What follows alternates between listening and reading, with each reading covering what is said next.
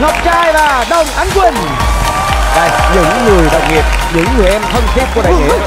Hình như là dương lâm vẫn còn đang rất là phấn khích chưa có dừng lại được. Hai em em đang rất là sung sức em muốn chiến đấu. Vì sao? Tại vì thơ văn tục ngữ thất ngôn bắt cú đường lực là em nhiều lắm hình như ta. không có cái nào vô cái nào nha thơ văn tục ngữ thất ngôn bắt cứu đường luôn Em nghe em cũng bị hoang mang luôn nói chung vậy đó chuyện cổ tích đồ thơ văn là em khoái lắm. Làm liền câu thơ tặng mọi người ngày hôm nay. Chương trình quả thiệt vui ghê tham dự một cái là mê tới già.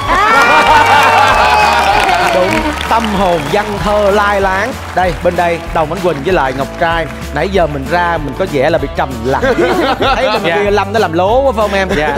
à, vậy em có tự tin vào cái vốn ca dao trong đầu mình hay không? Người ta nói á là muốn sang phải bắt cầu kiều muốn con hay chữ phải yêu lấy thầy. Mới nói một câu thôi Dạ. nghe thấy văn thơ dao dạ thơ nhưng mà gì? dạ nhưng mà hồi xưa thì em hơi quậy cho nên là thầy không yêu em lắm. Dạ không biết nhớ được nhiều. Không biết nhớ được nhiều. Nhưng mà anh thấy cái thái độ trầm tĩnh đỉnh đạt của em tự nhiên cho anh một cái niềm tin mãnh liệt. Còn đồng ánh quỳnh sao em học sinh giỏi ngữ văn cấp 2 à rồi cấp 3 bớt giỏi hả?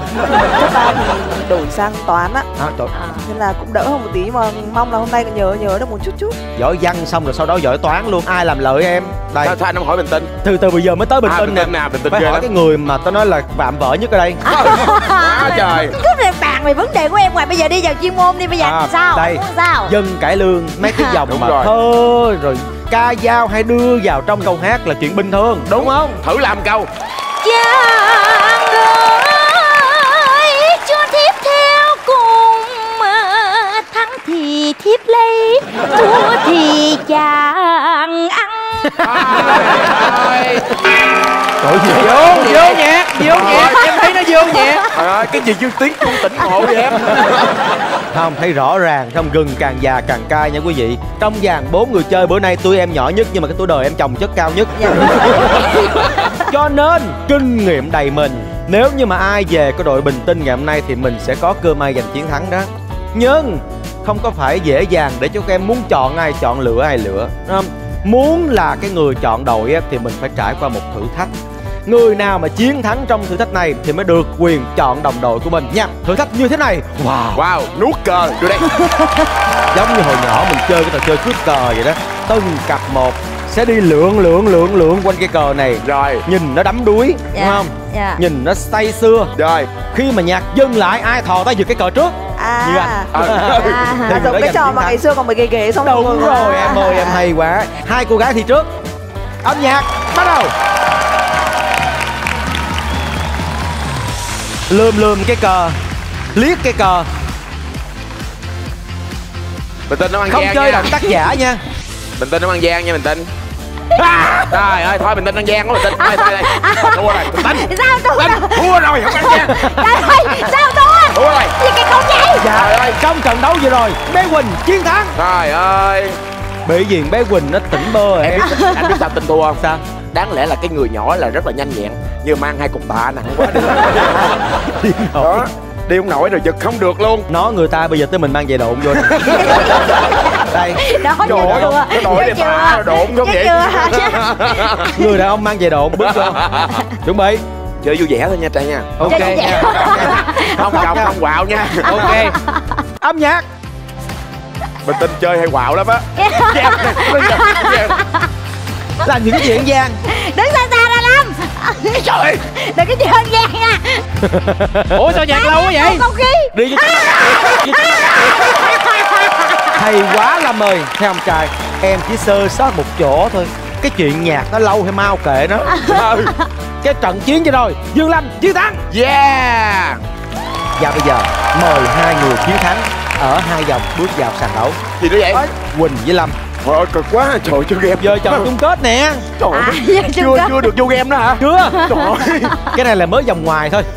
Âm nhạc. Hồi mới giữ xe thôi đó. Trời ơi à. Tránh ra nha Lâm đừng ăn gian nha Lâm. Thấy không? Bé Quỳnh nó tỉnh bơ phải không? Mặt thờ ơ Có vẻ không quan tâm. Nói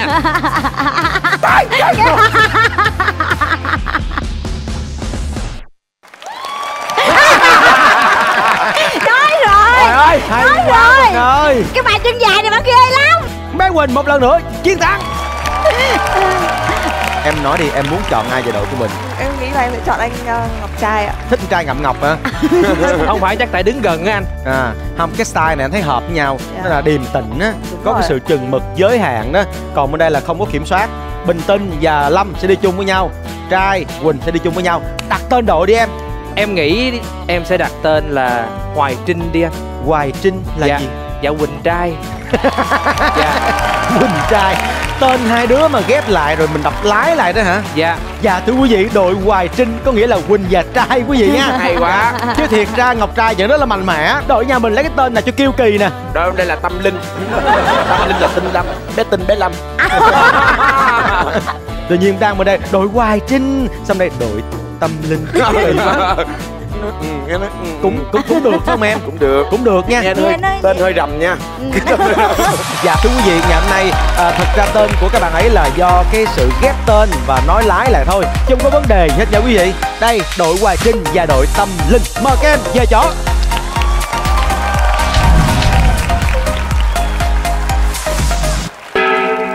Các trò chú ý Bây giờ chúng ta giống như là đang bước vào lớp học Khung cảnh gợi cho chúng ta nhớ về những cái lớp học ngày xưa Của các thầy đồ. Cuộc thi này nếu như các trò mà vượt qua được những thử thách Thì tiền thưởng mà thầy dành cho các trò bát ngát bạc ngàn luôn.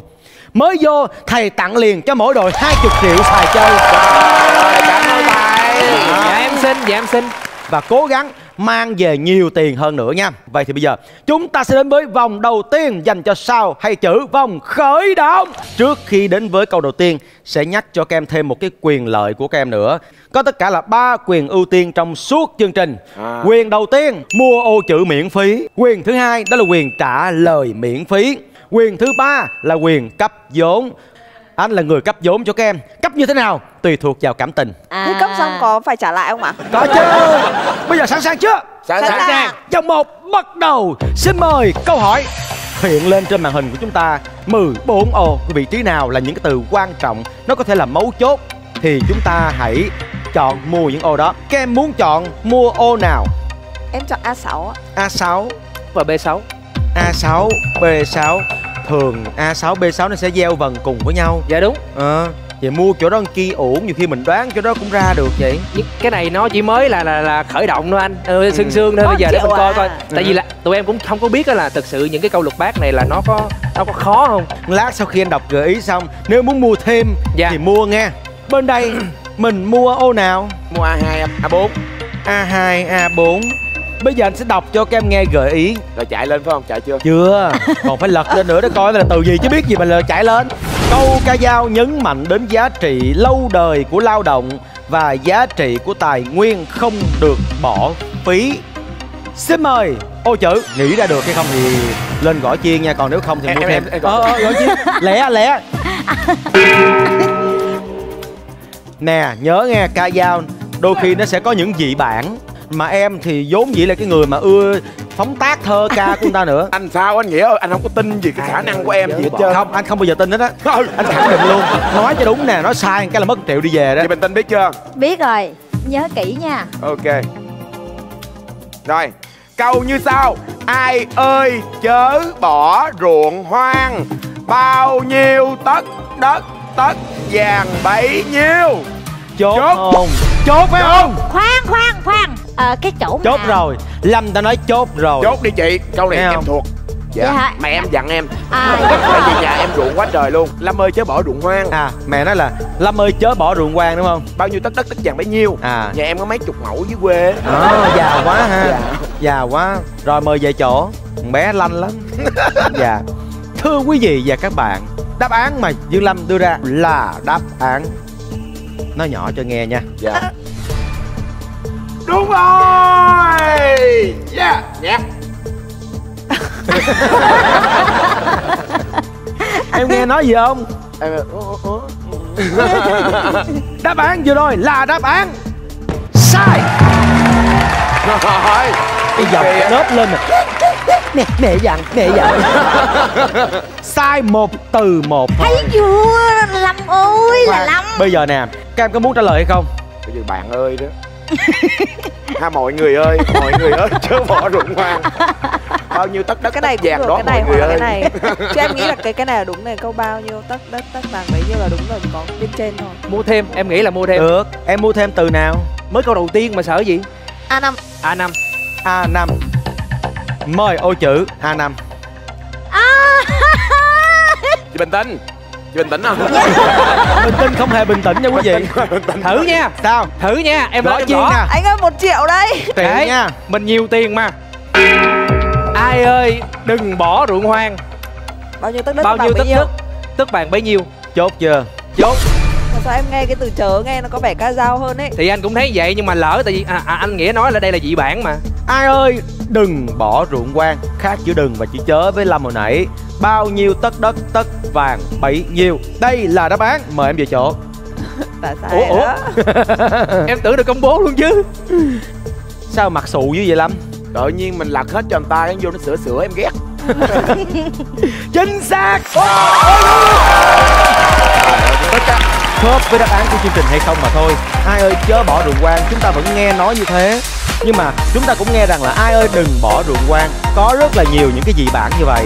Và đáp án của chương trình là ai ơi, đừng bỏ ruộng quan. Vấn đề là mình có khớp hay không mà thôi.